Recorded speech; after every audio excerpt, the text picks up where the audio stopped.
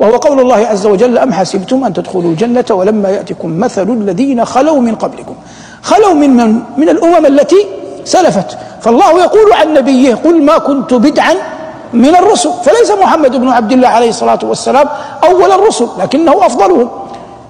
وقد مضى رسل قبله وهؤلاء الرسل كانت لهم أمم وهؤلاء الأمم ابتلوا امتحنوا.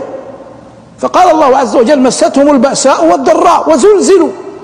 ليس المقصود زلزلوا أنهم عاشوا في أرض ذات زلزال وإنما المقصود أصابهم من المصائب والنوائب والابتلاء في الدين الشيء العظيم. ومع ذلك صبروا. لماذا صبروا؟ لأنهم يريدون الجنة.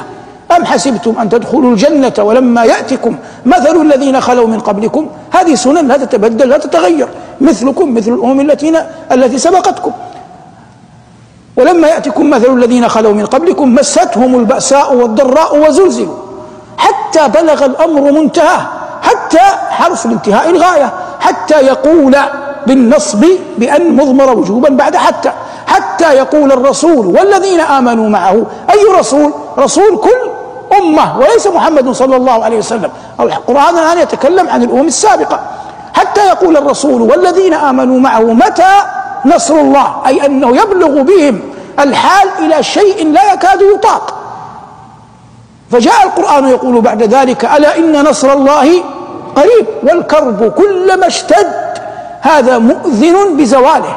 الكرب كلما اشتد هذا مؤذن بزواله.